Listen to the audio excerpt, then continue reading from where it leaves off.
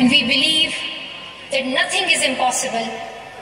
And today, I'm very happy that we are together fighting for an important cause.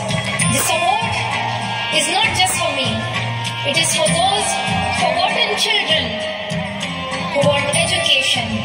It is for those frightened children who want peace. It is for those voiceless children. I'm here to stand up for their rights, to raise their voice. It is not time to pity them. It is time to take action. So it becomes the last time that we see a child deprived of education. Not just the politicians and the world leaders. We all need to contribute.